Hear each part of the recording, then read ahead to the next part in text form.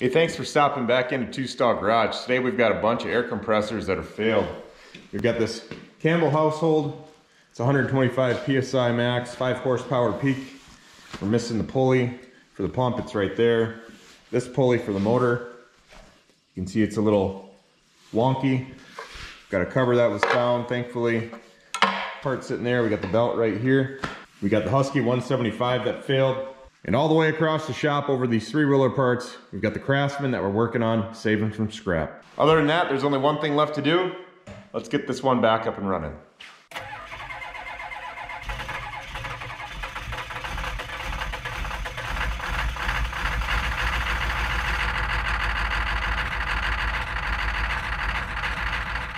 Five horsepower peak, 125 maximum PSI.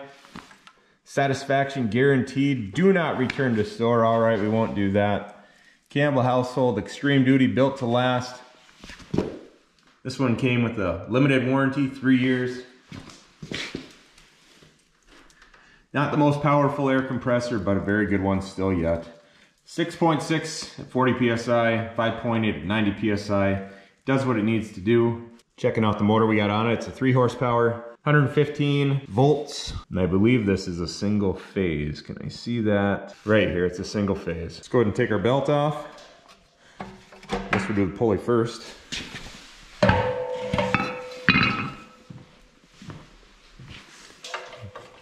We're gonna grab our belt.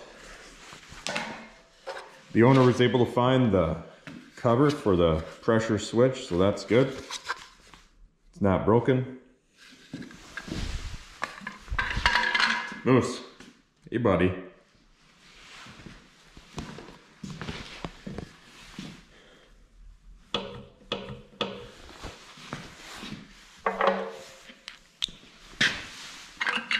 Got a single gauge up here. Switch appears to be in good shape. Nothing's broken on it, so we're gonna leave that. We're just gonna put the cover back on. As the story goes, this fell off of a tractor loader. And after it fell off, the pulley was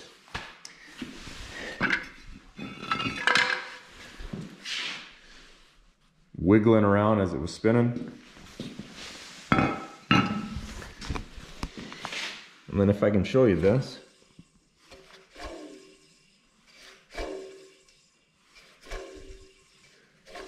I don't know if it's easy to catch on that, but it's definitely got some balance issues there. This one does have the air filter. It has about 30 pounds of air pressure in it.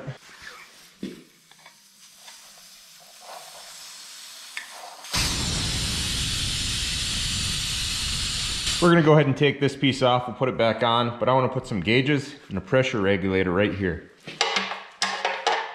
19 mil. Now it's just turning just fine good. We're gonna clean up these threads, so I'm gonna end up taking this apart pretty much all the way. We'll go put this on the workbench. Okay, so now that we got the three valve adapter off, we gotta clean these threads. You can see that this has been rounded. We're not gonna touch that, but we are gonna get these threads cleaned off. We don't wanna have any leaks in this bad boy when we're done.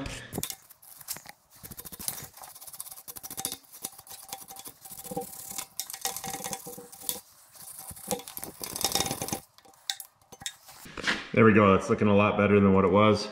It's nice and clean so we can put thread tape around there and seal it up. So here's what we got. Got the valve that we took off. We're gonna clean this up. We've got this coupler sitting around. I'm gonna go ahead and take this to the wire wheel and clean off this pre-purchased uh, thread seal. And we've got our fuel pressure regulator. Got a couple gauges. They're used, but they're good. We're gonna clean those up as well. Be right back.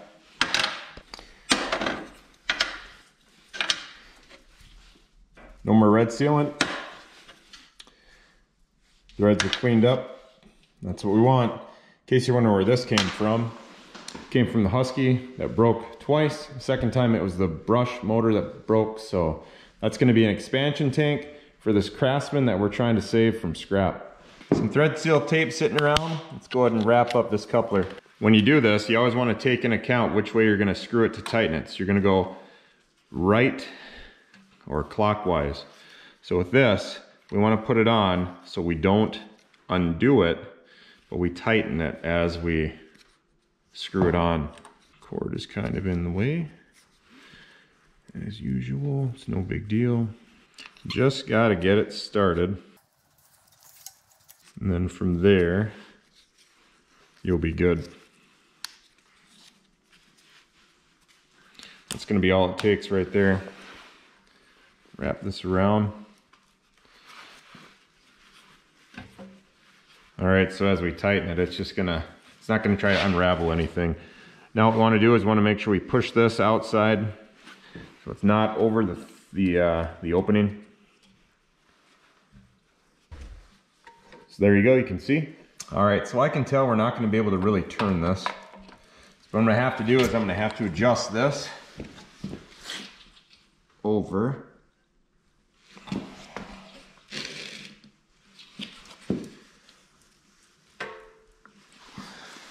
That should give us enough room to turn it around. Okay, and one thing to note right here, you're gonna have another port. We're gonna actually take a coupler that just plugs it, or a plug, I suppose is what you can call it. Let's move this.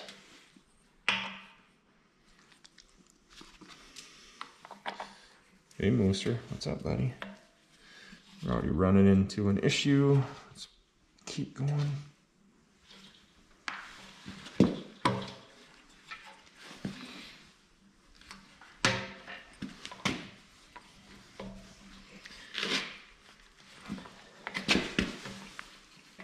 and we're gonna hit. So let's see how we're gonna do this here. All right, by turning this all the way closed, get a little more space. We can hopefully get this the rest of the way. Doesn't need to go too many turns. It's gonna be okay. As long as it seals up, that's what we want. And that's where we're gonna stop, right there. It should be just fine. We are gonna go one more, why not? Let's just do it.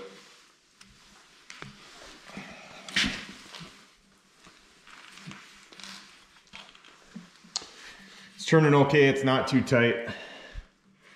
I wanna make sure I don't have to take this apart once we're done. Get this thing to swing around here. There we go.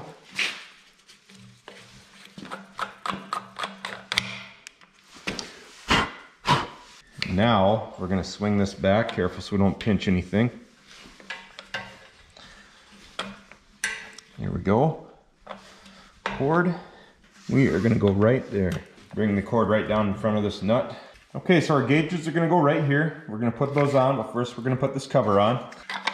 Sometimes you gotta just turn this a little bit to get it seated.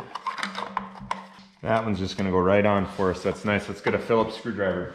This doesn't need to be on tight, so a little standard little Phillips screwdriver will do. It does have a little clip right here in the front that we wanna be aware of, so let's get that on there over somehow. See if we can hear a click here. That's what we want. Switch is working. Let's back this out and tighten it up. Butterfingers. The thing that I'm concerned about is if we're gonna have a leak right down here. We're not gonna have a leak right here. We're not gonna have a leak on the gauges on this side, on the pressure regulator either. But down below, because I've been turning this back and forth, I don't wanna have a leak down there, but I think we're gonna be okay, so we're gonna find out at the end when we pump this up. We've got our pressure release right here. Gonna leave that in place. This is set to off. This is set to on. We're gonna clean everything up at the end, make it look nice and pretty again. Let's go ahead and get our gauges on this regulator. Two gauges, both PSI, both go up to 300 PSI. No need to worry about which side they're going on. Little trick is you tighten them up till they're just getting some pressure on them.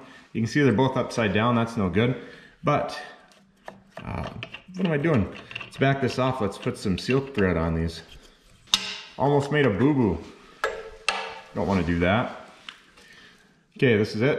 I'm to put some thread seal on. I'll be right back. All right, here's our first gauge with thread seal. We're to put it on Oh, it starts snugging up.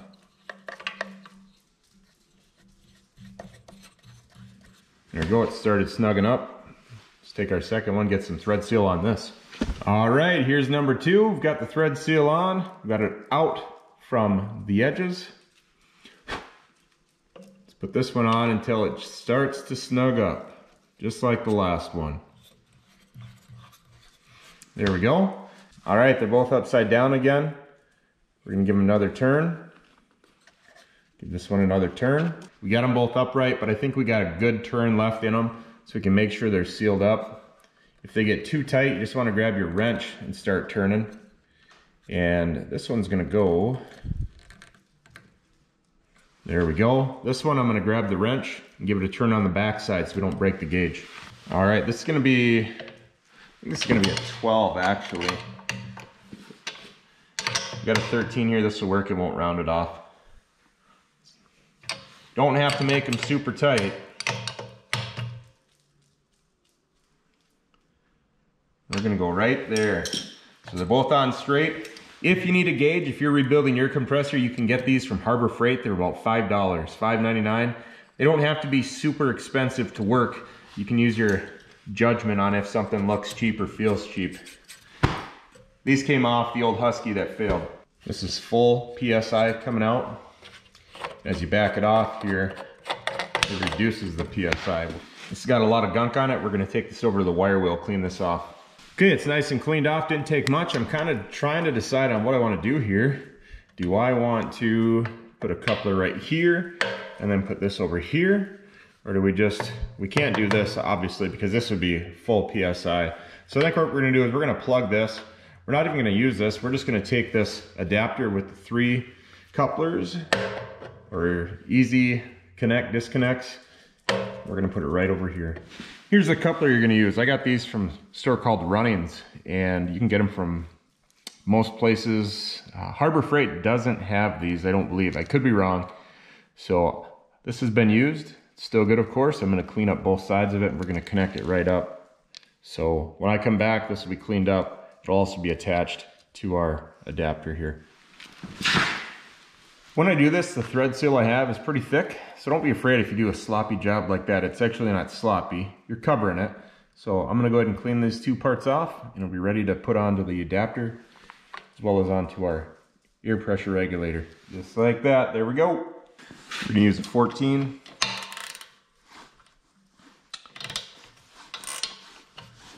Let's go the right way, how about?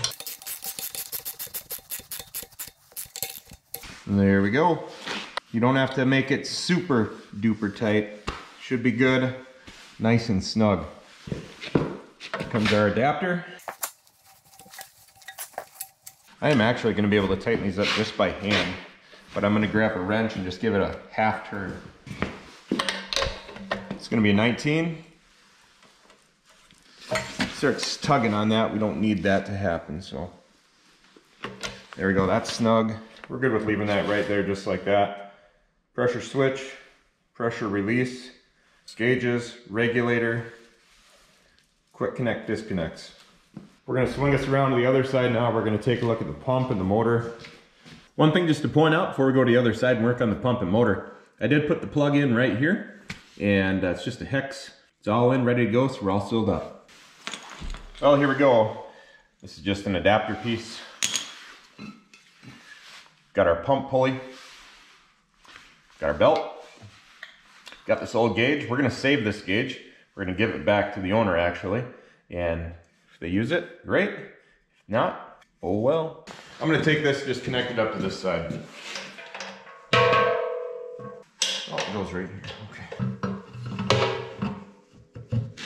Give me faith like hope like roses. Okay, we wanna get this lined up we can put the key in.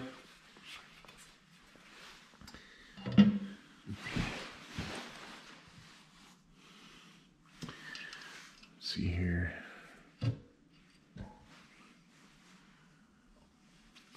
Just want to line it up and then push it in. And get it to go. Oh, there we go. There we are grab a little block of wood. All right, I grabbed a different key and it's a little longer. It's gonna be just fine. Actually, I've got this pulley on backwards. You want to pay attention to your hole over here. This is going to want to be on the outside as you tighten it up. There's that. Here's our new key.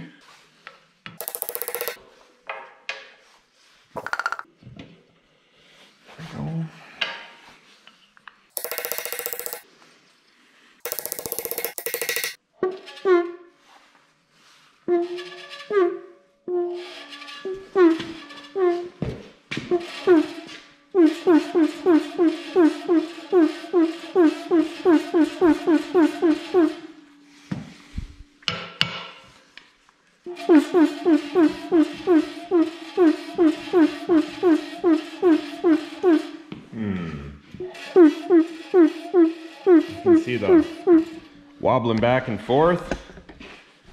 That's not what we want. So there's an issue there.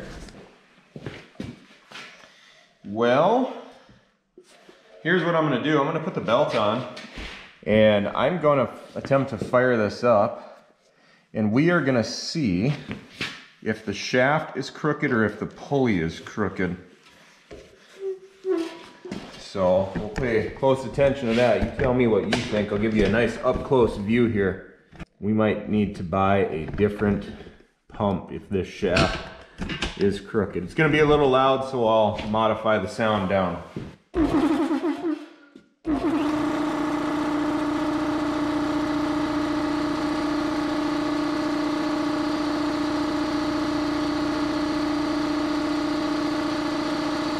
Just gonna cap that off with a rubber cap, hose clamp it down.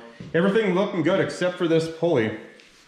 I am not impressed. And I'm having a hard time telling if it is the shaft or if it's the pulley.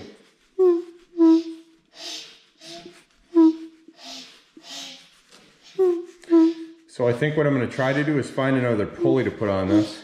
We're gonna test that out and see how that is. There's just too much wobble in there. This one isn't even so bad. I'm gonna look at replacing this to get a few more RPMs out of this thing. I could live with that one right there, but this one is just tough. I don't want to replace it. I'm gonna have to take a trip into town, I think, but we're just gonna have to do that, so. All right, while we're up here, since we remember that we gotta plug this, we're gonna take our plug, pick this up at Runnings. Excuse me, got the hiccups, very cheap. Go ahead and start it off. It's got its own thread sealant on it. Thread it right in.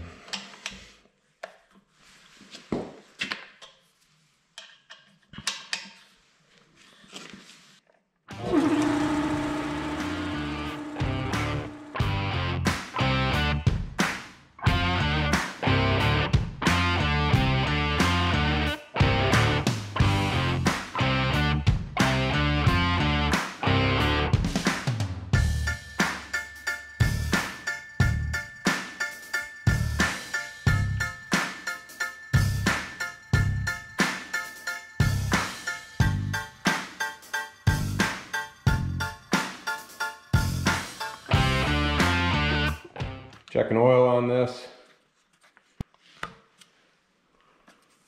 Just pushes in, pulls out. Believe it or not, it's right here. That's right at the max. So we're good. Let's keep it running.